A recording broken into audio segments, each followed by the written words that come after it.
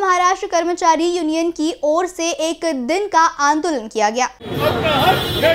जान भी देंगे खून भी देंगे अपना हक लेकर आएँगे जान भी देंगे खून भी देंगे अपना हक लेकर आएँगे हमारी मांगे पूरी करो।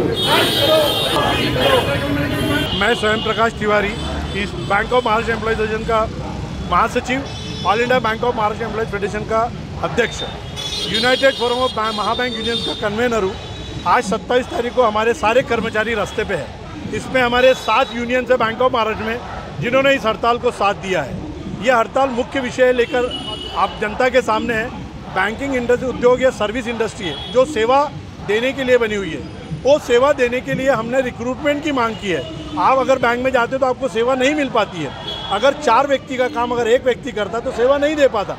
इसलिए हमने मैनेजमेंट से इस बैंकों में रिक्रूटमेंट होना चाहिए।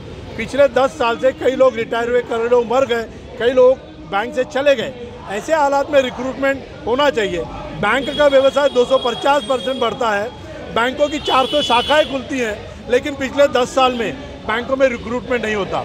और जो कुछ भी ये करना चाहते हैं आउटसोर्स माध्यम के पर, से करना चाहते हैं। जब बाहर ठेकेदार पद्धति से अगर रिक्रूटमेंट करेंगे तो बैंकों की जो सीक्रेसी है और बैंकों में आपने देखा होगा विभिन्न आपके माध्यमों से कि बैंकों में फ्रॉड हो रहे हैं। ये आम जनता का पैसा है। ये आउटसोर्सिंग का हम लोग विरोध करते हैं। सफ़ाई कर्मचारी हो, सब स्टाफ हो, अवार्ड स्टाफ हो ऑफिसर हो, ये बाहर से ठेकेदार पद्धति से लाना चाहते हैं। हम चाहते हैं कि ये बैंक के रिक्रूटमेंट में होना चाहिए। जो आज तक आई रिक्रूट करता था डीएफएस रिक्रूट वो रिक्रूटमेंट होना चाहिए।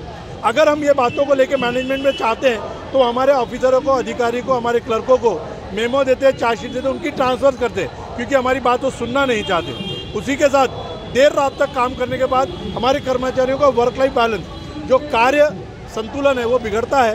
इसलिए अच्छी अगर सेवा देना है तो रिक्रूटमेंट होना चाहिए, ये विंडिक्टिव एटीट्यूड बंद करना चाहिए। और मेजॉरिटी यूनियन के साथ सब द्विपक्षीय करार होते हैं वो सारे करारों को इन्होंने अलग कर दिया है। और एक डिक्टेटरशिप एक अपने तानाशाही के रूप में ये सारी पॉलिसीज़ इस बैंक में इम्प्लीमेंट कर रही है। इन विषयों को लेके हम लोग आज प्रदर्शन कर रहे हैं। ये प्रदर्शन अगर आज हमारी मानते नहीं, प्रदर्शन के बाद भी तो 9-10 फरवरी को फिर हम लोग प्रदर्शन में जाने वाले हैं। ये हमारी मांगे हैं।